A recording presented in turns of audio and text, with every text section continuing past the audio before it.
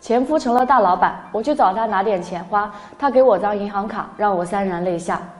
我和我前夫当初结婚的时候，我父母就不同意，因为我父母他们都是过来人，说像他这种家里非常穷，连个房子都没有，我嫁过去之后日子会过得非常心酸。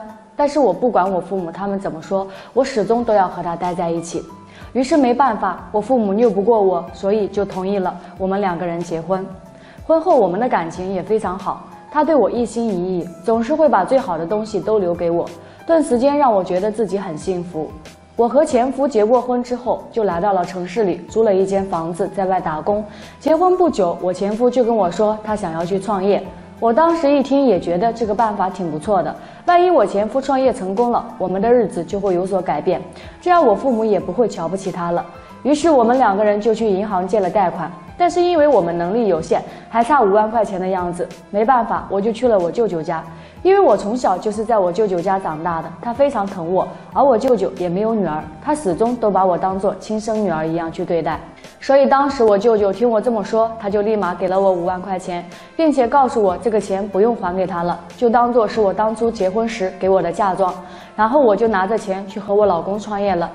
可是哪有我们想象中的那么简单？我和我前夫因为刚步入这个社会，一点经验都没有，所以不到半年的时间里就倒闭了，因此也欠下了很多债务，顿时间让我前夫跌入谷底，每天只知道喝酒抽烟，把自己打扮得特别狼狈。可我却不断的去安慰我的前夫，并且告诉他，只要我们两个人不断去努力，终有一天会把这些债务给还上，我们还会过上更好的日子。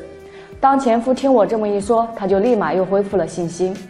经过半年时间里，我们两个人几乎把债务还的差不多了，日子也过得可以，就先想着结婚这么长时间了，该要一个孩子了。毕竟我们都知道，老人在晚年的时候都想尽早抱上孙子，这样就可以享清福。我老公当时听我这么说，他也非常同意我的做法。于是我们不到半年时间里就有了一个儿子。我心想，会因为这个孩子的到来，让我们一家三口变得越来越幸福。可是令我万万没有想到的是，我前夫他竟然又犯起了同样的毛病。突然在晚上的时候，他又跟我说，他还想继续创业，他想从哪跌倒就从哪爬起来。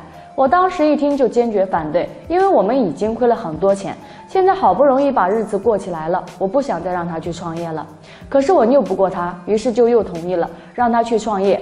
可是他这次竟然和上次一模一样，不到半个月的时间里竟然又倒闭了。我顿时间觉得这种日子根本就没有办法再过下去。像他这种人，永远是狗改不了吃屎，有了第一次就会有第二次、第三次。然后我们两个人就因为这件事情吵了起来，他竟然对我动手动脚，我当时非常生气，就下定决心要跟他离婚。他当时听我这么说，他说离婚就离婚，谁怕谁？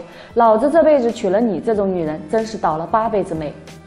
反正你父母也瞧不起我，离婚对我们两个人都非常好。然后当天晚上我就收拾行李回到我妈妈家。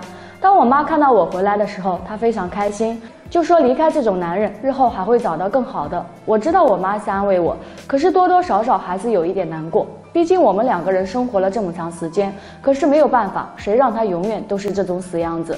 当我和我前夫离婚不到一个月的时间里，我母亲就安排我去相亲。我心想自己不能一个人带着孩子生活，毕竟我是一个女人。于是我就和这个人去相亲了。当我们结束不到一个月的时间里，就再婚了。可是那个时候正好面临我和我前夫的孩子要上学，没办法，我只好去向我的前夫要钱。当我见到他的时候，他竟然已经变成了一个大老板。听我这么说，就立马拿出一张十万块钱的银行卡给我，还告诉我说当初不应该那样对我。听说我现在已经嫁人了，他希望我过得幸福，并且每个月他都会往这张卡里打钱。